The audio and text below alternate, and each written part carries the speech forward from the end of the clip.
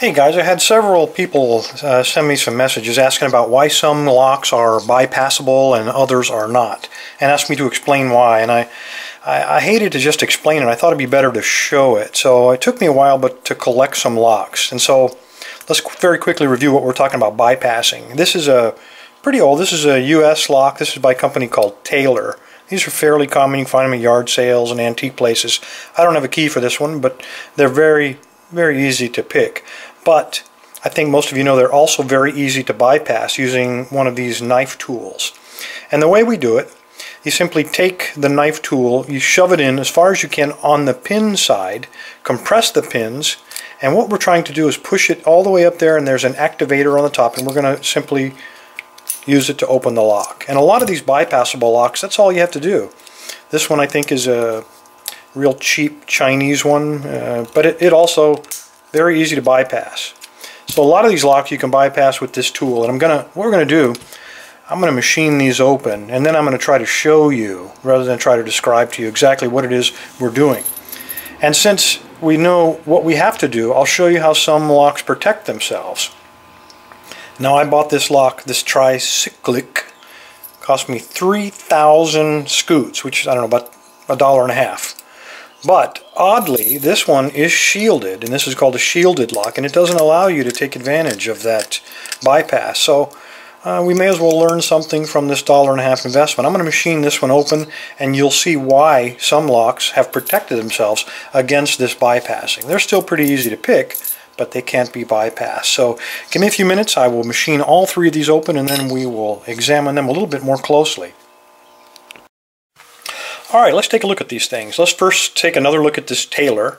Uh, you saw this was easily bypassed, and what I've done on all three of these is I've machined it away just to give us access to the locking pawl, which I've kind of painted them red here with the magic marker so you can see what we're doing.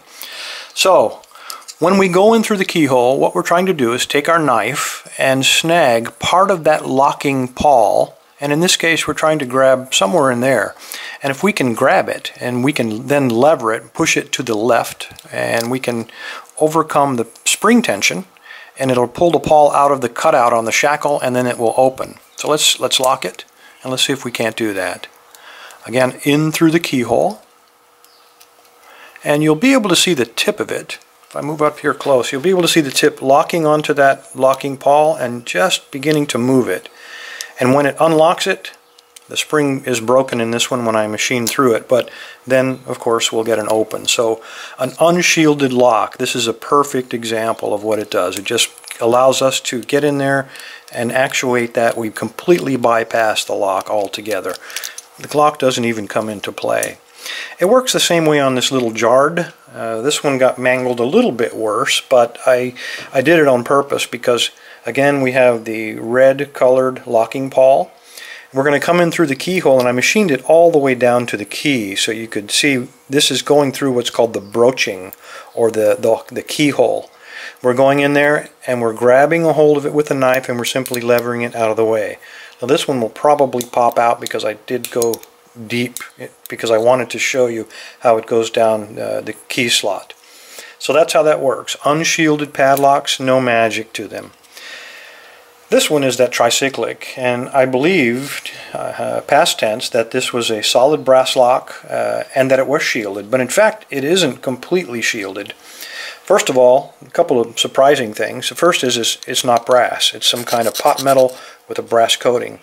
The second thing, we've always talked about how these Chinese locks are cheaply manufactured and they do some, you know, some uh, cost-saving measures, and one of them is they don't put a locking pawl on this side where they, even though they have a cutout, there's no locking pawl going into them. They only actuate from one side, and that's this side.